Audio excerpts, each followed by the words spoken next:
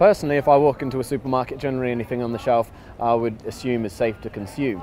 Uh, Mm. it's obviously not always the case. Um, The scandal with the horse meat Yeah. and beef, I think, was a big thing, which shocked a lot of people.